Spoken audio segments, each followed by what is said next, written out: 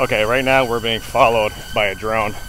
Oh, it is following me. As you can see, there's no camera in it. And we're recording.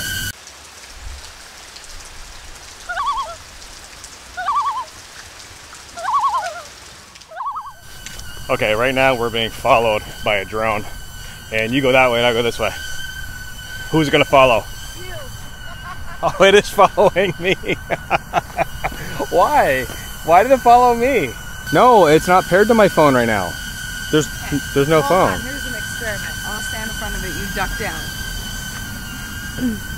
Duck down and go that way. I'm gonna go this way. no, it still followed you.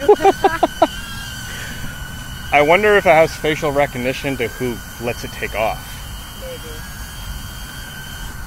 Try running. Hold on a second.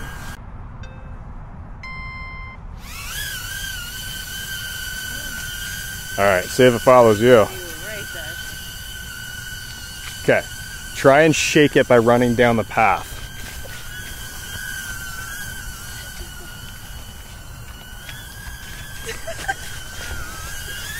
It will it'll literally fly into me. I'm telling you, the thing's on you, like you can't shake it. It will crash into me trying to find you. She's hiding behind me right now. She's literally hiding behind me right now trying to get away from the drone and it's still on her. This is crazy. Oh wait, you lost it when you ducked. Oh, so you can lose it. You went underneath of it, so that doesn't count. Will it pick you up again when you go in front of it? So you have to take off again. Okay, Yeah. press and hold the button to shut it totally off. Okay, so that's the first test of the drone. We've come to the conclusion that whoever lets it take off, it seems to follow that person because it took off in my hand and we split and we are both in frame when it took off and it chased me not her so landed the drone made it take off in her hand and she hid behind me and everything and it chased her not me so we're going to do some more testing up here in an open area. It looks like it's to rain. Pretty moody up in the sky right now But- very humid. very very humid. Hopefully some thunder and lightning. Going for a walk downtown. Uh, same routine as usual. Find some somewhere to get a drink record something that looks cool and then uh, yeah get the video out to you guys. All right recording with the insta 360 and as you guys can see there's no camera in it because i'm holding the camera right now so this is the insta whoa geez that was a huge step this is the insta 360 go 3s i have the viewfinder pass it off to Erica, and she can point it at me and record. And I'm just holding the screen. She's got the actual camera. Pretty interesting. Put it back in the camera body. And now we're still recording in the camera body.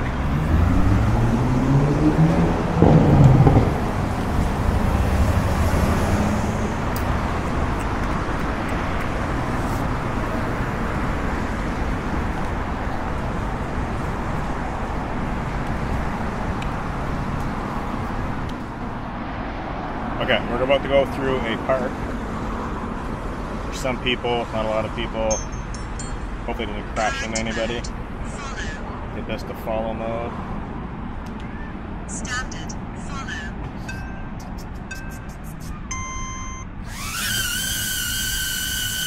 And we're recording. And we walk. And we should follow. It's pretty sweet. Right?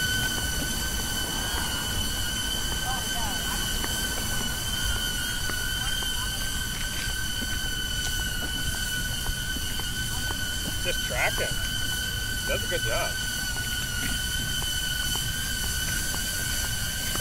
Come up here with me and see if it follows both. Or if it gets like peeked out. well, you, That's it.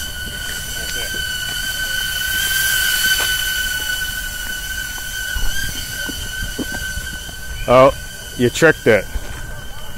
Okay, Erica just tricked it by walking by it. Will it find me? Okay, it just found me again. It just panned towards me. You might have to get to land in your hand. Okay. And then you make it take off.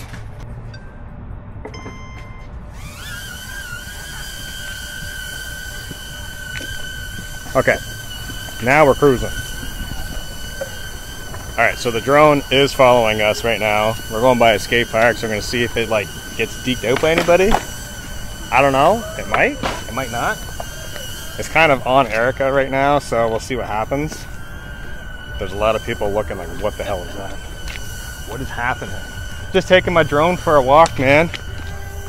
Exercise. Exercise. There goes. Working.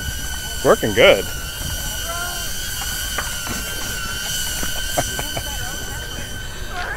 Okay, so it's actually working really well. It's chasing her.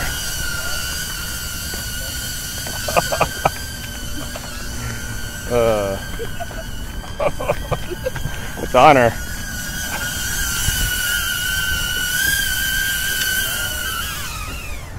Success. Hey, what's going on, guys? So, this video has already started. Did not film an intro because, well, I didn't plan on actually making a video out of this. But we're actually walking downtown Halifax right now. Erica's got the drone in her hand, the X1 from Hover. I did a video on this probably about a week, a week and a half ago, and I told you I'd be doing some more testing. So we came out on a contrasty night right now, and we're trying to fake it out to see who it will follow if there's two or more subjects in the camera. It's actually working really, really well. We've pretty much figured out that whoever makes it take off, it will follow that person. So I think the AI inside the camera has some contrast and facial recognition to associate itself with color and person of who is allowing it to take off. And it chooses to follow that person over the other. So we're gonna head downtown and do a little bit more testing.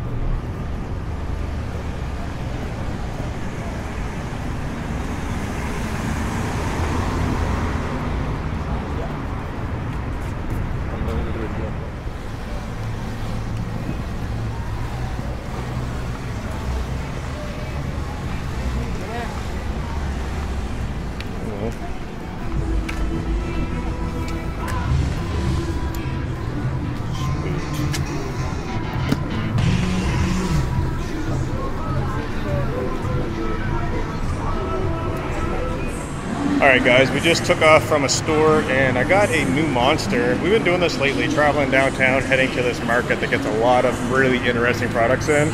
This is a juice monster called the Ripper. I've Never seen this before, never heard of it. Crack into this and see what it tastes like.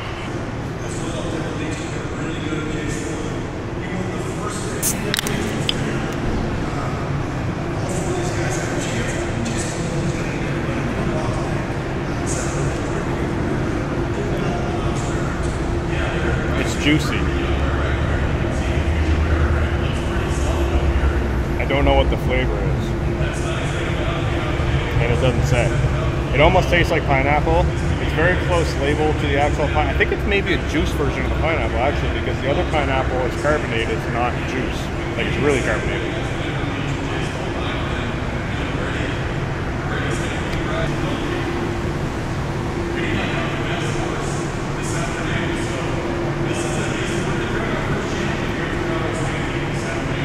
Like a pineapple Red Bull flavor. Pineapple Red Bull. Like original. It's, it says 20% juice, so it's more juice rather than carbonation. Have you had the monster juices yet? Like the one you bought me today, the Mango Loco? That's a juice? Yeah. This is a juice. You know, like what regular Red Bull tastes like? Yeah. It's that taste with pineapple. Huh. It's Yeah. pineapple. So Monster Juice the Ripper. Pretty interesting mix. Interesting. Oh. We should fly the drone through here. we should go back there and fly the drone. Let's go back here and fly the drone up this way. We're gonna sketch everybody out.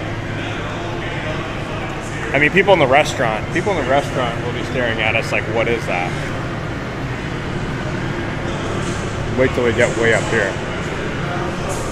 And we'll fly it back to that way.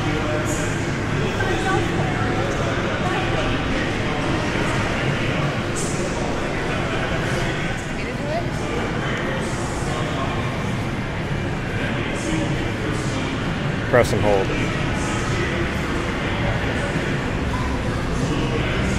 All right, gotta wait for the start up.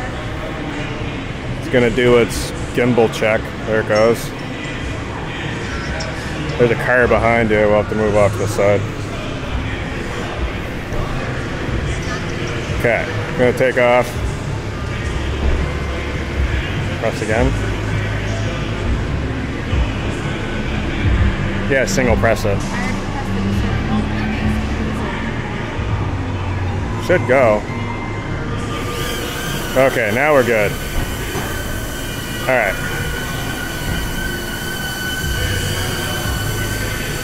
Going.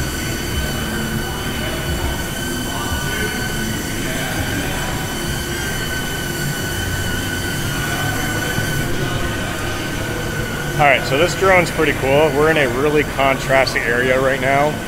Uh, it's kind of an underground, in-ground slash outground restaurant area. Erica's got the drone. It's tracking her really, really well right now. There's a lot of distractions going on as far as a lens to see. There's a lot of people. There's a lot of things going on. A lot of different contrasts and scenes ahead of us, which the camera's looking at on the drone right now, and it's tracking her. it.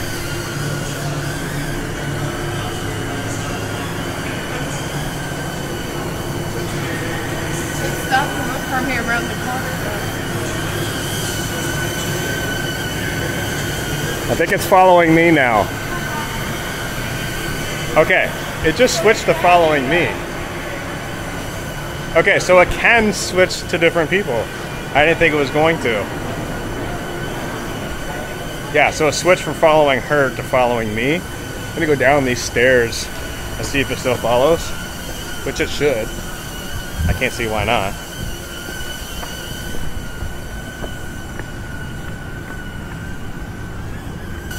Okay. Sweet.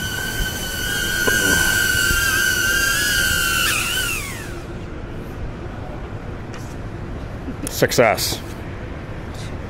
Pretty awesome. So it actually followed down the stairs, both people. Okay, so that was probably the last test. It is getting really dark out, and we're actually heading uphill. Um, it did really well. So it was interesting that it it stopped. Erica ran around a corner and tried to hide from it, and it literally went to the edge of the corner, stopped, and then turned and found her, and then kept tracking her Creepy. which is pretty awesome. And then when it got me, it must have got confused. I don't know. I'm interested to, to pick it apart by testing to see how it works because I want to know how how it can follow and how it just loses track of people and starts following another person. Because it seemed to follow me when I let it take off, but then it followed her when she let it take off. I don't know. Very strange. But we're going to be walking up through the dark, all the way uphill. And uh, yeah, might we might test it again. We only have one dot on the battery, so it's probably going to die. But we may test it again.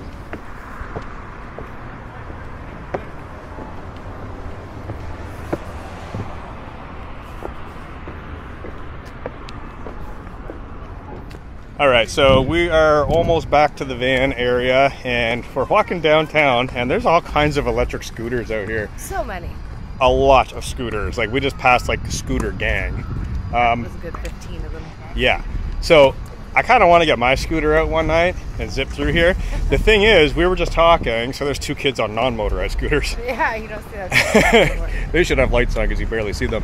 Um, but the thing is, we were just talking about the scooter that I have, and people own scooters that go way faster. Like mine goes almost 70 kilometers an hour. yeah, the rentals cap out at like 30. So they cap out at 30 kilometers And an that's hour. like in a residential zone. Once you go downtown, it's lower than that. Yeah, so they're regulated by like GPS for speed. Um, but there's all kinds that people own here in the city. And I see people whipping down, like with traffic, just cruising through rotaries, sidewalks, like whipping. Now, I know from doing research and having different offers for products that a lot of the, the scooters they top out at like 50 kilometers an hour. So I'm kind of worried about taking mine out at nighttime because, uh, I mean, if it can go up to 70, So make sure you have your lights on. Your lights are pretty bright. yeah, the lights are bright. Um, but if it goes 70, I'm most likely going to go 70. I want to go fast. Um, but I do, traffic. yeah, well, that's just it. You keep up with traffic.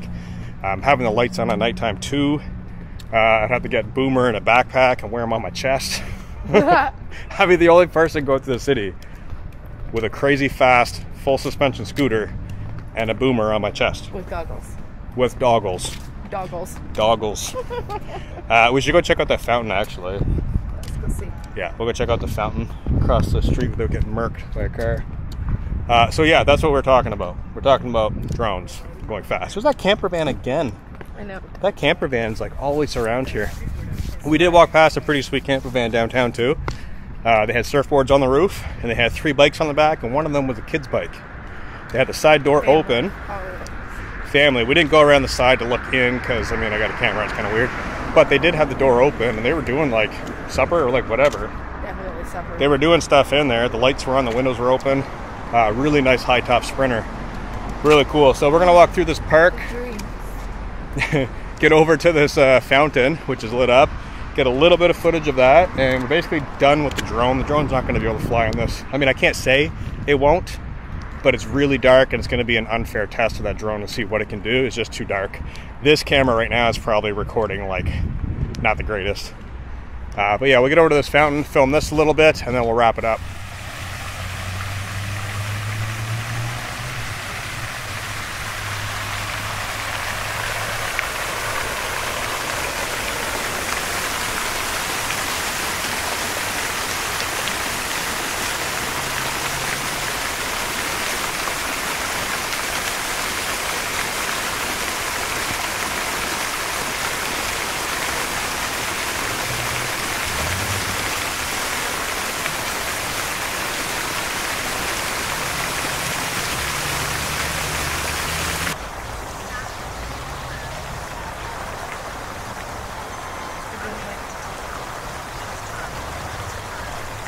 It won't take off? Please try the right environment, she said. Oh, it's too dark.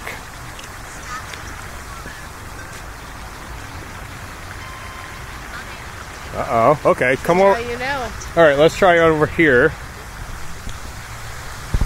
So we're trying to take the drone off, and it is actually too dark.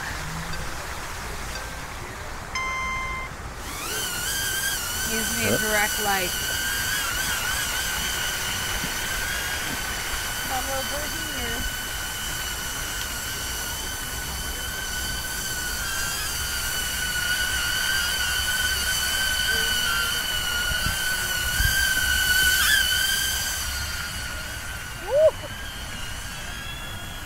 It's having a really hard time. It's having a really hard time. Yeah. Uh, yellow light, so it's tapped out.